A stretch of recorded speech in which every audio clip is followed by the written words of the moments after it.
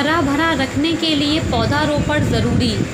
बेहसंत सागर, जैन मंदिर में राजनेता समाज सेवियों व पत्रकारों को किया सम्मानित। जैन मुनिरा, मुनिराज के करहल की धरती को पावन कर दिया एमएलसी करहल जैन मंदिर नसिया जी को विराजमान जैन मुनि विहसन सागर महाराज ने प्रवचन देते हुए धर्म सभा में मौजूद लोगों को पर्यावरण के संबंध में जानकारी देते हुए कहा इस जीवन को चलाने के लिए ऑक्सीजन की आवश्यकता होती है। कोई भी जीव बिना ऑक्सीजन के सांस नहीं ले सकता। इसलिए हर प्राणी को अपने जीवन में पेड़ ज़रूर लगाने चाहिए। वृक्ष वातावरण शुद्ध रखते हैं। आने वाली पीढ़ी को आपसे सीख मिलेगी। इस तरह हमारा वातावरण शुद्ध रहेगा। जब हमारा जंगल हरा भरा होगा तो हमारा मन और तन दोनों शुद्ध और स्वस्थ रहेंगे। पर्यावरण से ही संसार में जितने मूक पशु हैं, उनको शुद्ध भोजन मिलेगा और आपको पुण्य लाभ की प्राप्ति होगी। जैन मुनि ने कहा, मैं अपने अवतरण दिवस को पर्यावरण दिवस के रूप में अड़तीस वृक्षों को लगवाकर हर प्राणी को प्रेरित करता रहा हूँ। आगे उन्होंने कहा, जिस प्रकार मनुष्य अपनी संतान का लालन पालन करता है, उसी प्रकार यदि आप एक पेड़ का लालन पालन करोगे तो आपका एक संतान के समान ही कर्तव्य निर्वहन होगा। अंत में धर्म सभा में उपस्थित लोगों को पौधारोपण का संकल्प दिलाकर उनकी देखभाल भी करने को कहा। इस दौरान एमएलसी अरविंद प्रताप यादव को मनीष जैन, लल्लन जैन आदि लोगों ने पगड़ी पट्टिका पहनाकर सम्मानित किया। इस दौरान एमएलसी अरविंद प्रताप यादव ने कहा कि संतों के आशीर्वाद से समाज को नई दिशा, नई सोच मिलती है। उन्होंने कहा कि जैन मुनिराज मेडिटेशन गुरु संत सागर जी महाराज ने कहल की धरती को पावन कर दिया है। इस दौरान जैन समाज लोगों ने दैनिक जागरण अखबार के पत्रकार Badrul Hasan 24 news SD channel संपादक साइमुल हसन एवं समाज सेवी मिर्ज़ा के लोगों को पगड़ी पहनाकर सम्मानित किया। मेडिटेशन गुरु मुनिराज। बेहसन सागर जी महाराज के पावन अड़तीसवें जन्म दिवस के अवसर पर इटावा भिंड, टीकमगढ़ घिरोड मैनपुरी, एटा, ग्वालियर आदि दर्जन भर जगहों से जैन समाज के भक्तगण आए। इस अवसर पर मेडिटेशन गुरु मुनिराज बेहसन सागर जी महाराज जी, महाराज।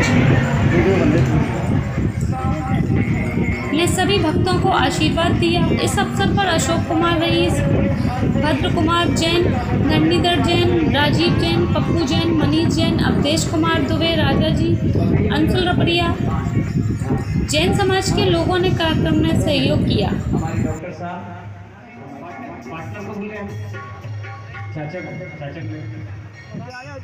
और फिर हम भी तो इसी जैन गोदाम से पढ़े थे कक्षा एक से। हमें कुछ देने का मौका सौभाग्य आपके सामने प्राप्त हुआ। इसे मैं दे रहा हूँ कोई दिक्कत नहीं आएगी।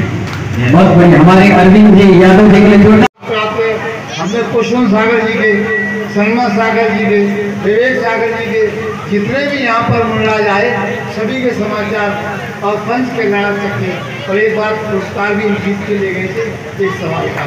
धन्यवाद बहुत हमारे खान साहब के लिए जोरदार जयसुन सागर का जन्म दिवस के उपलक्ष्य में कई कार्यक्रम हुए जिसमें वाचनालय का उद्घाटन और पौधालय का उद्घाटन अड़तीस वृक्षारोपण लगाए गए फल तीर्थंकर वाटिका का उद्घाटन हुआ वस्त्र वितरण हुए फल वितरण हुए भोजनालय की संपूर्ण सभी लोगों की व्यवस्था है।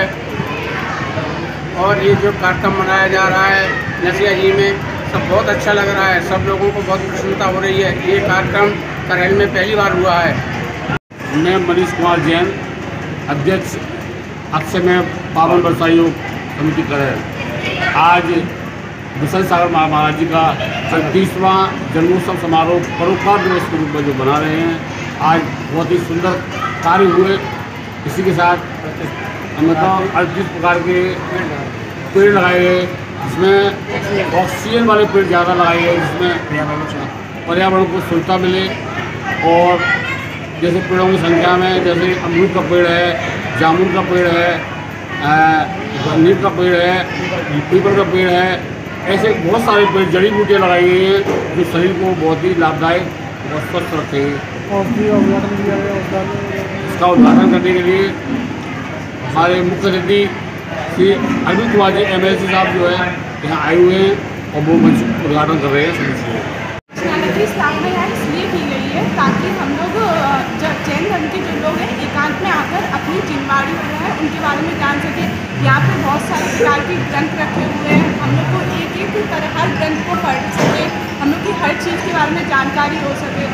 जैसे आज महाराज जी ने यहाँ पे हास्य ग्रंथ रखवाया है जिसके बारे में हम लोग जान सकें। इसलिए यहाँ पे वाचनालय की स्थापना की गई। है की स्थापना क्यों की गई है? जैन धर्म में काफ़ी ग्रंथ होते हैं। उनका एक वाचनालय बनाया जाता है जिससे कि हम उसमें वाचनालय सारे ग्रंथों को रख सकें और उनका इस्तेमाल कर सकें उससे उसमें शांतिपूर्वक बैठ सकें। इसलिए जैन धर्म में वाचनालय बनाया जाता है। वाचनालय में हर प्रकार के ग्रंथों को रखा गया है। जिसमें अलग अलग हस्तलिखित ग्रंथ आए हैं जिससे लोग यहाँ आकर उनको पढ़ सकें। इसलिए वाचनालय बनाया गया है जिससे मन की शांति मिले, लोगों को ग्रंथों को पढ़कर। इसलिए यह वाचनालय बनाया गया